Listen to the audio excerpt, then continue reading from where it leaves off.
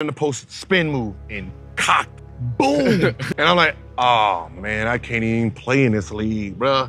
And I got so depressed just from the dunk. Gilbert Arenas was a straight up baller, but injuries ended his career early.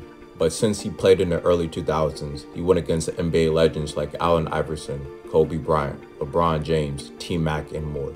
These are Gilbert Arenas' craziest stories on playing against these legends. We all know about the mamba mentality and how crazy and competitive Kobe can be. But in this story, Gilbert Arenas tells us how Kobe intimidated him with his mindset.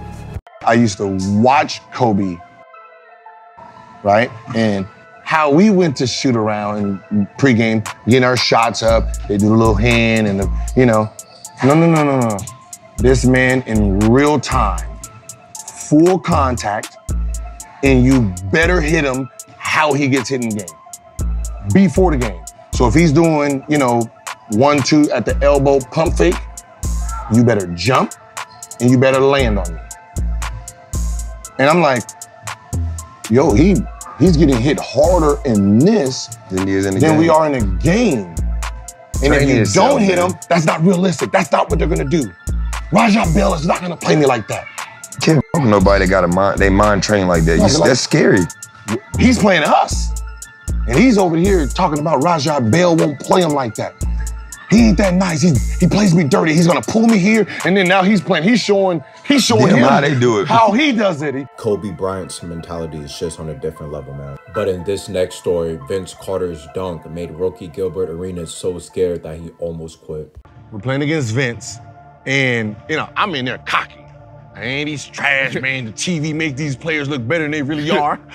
and he missed like two straight shots, so I'm already trash. I knew he was trash. And then he got mad, and then got in the post spin move and cocked it. Oh, boom! right? I jumped out the seat. Oh my God! I'm on the court.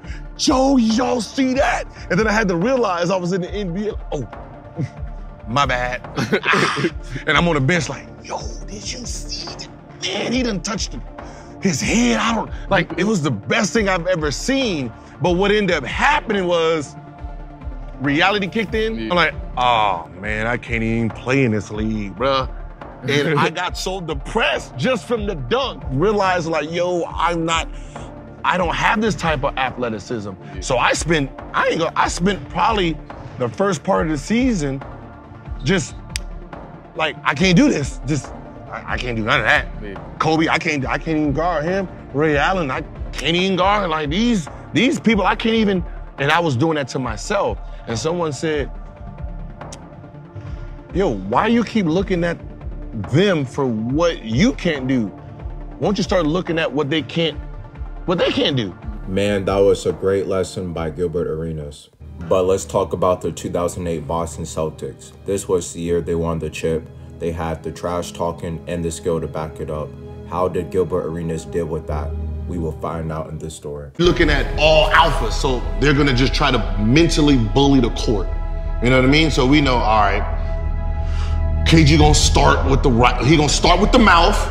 That's gonna get Paul going. You know, once Paul start going, then Paul's going. Now you got two alphas on the court trying to bully, talking shit. Like you, you got that. Then you got the bench squad that's coming in trying to bully. They, they playing prison ball. You know what I mean? So you know they straight playing prison brutal basketball when they come in the game. So you got two type of groups that you mentally have to prepare for.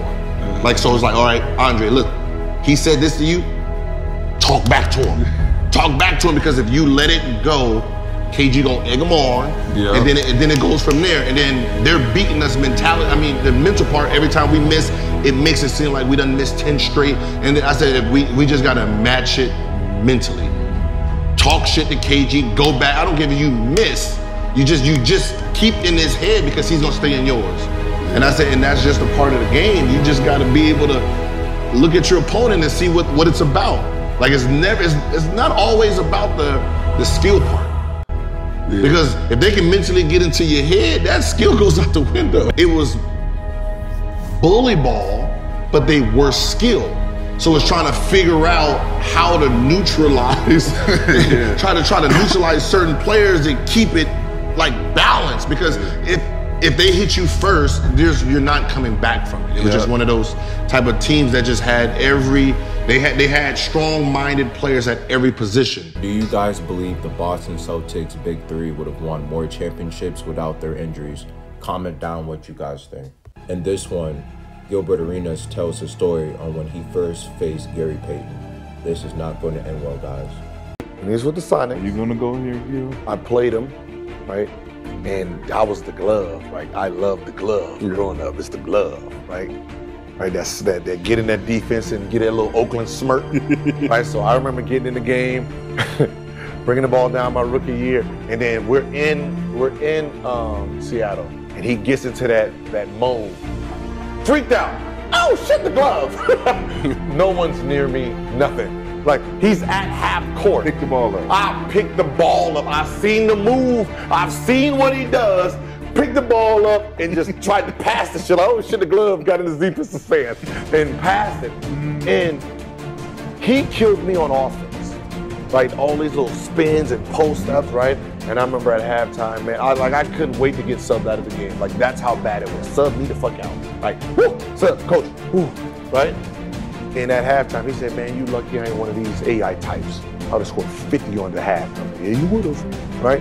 After that, oh, I hate that. Oh, my God. My usage rate is trying to score on one person. Yes.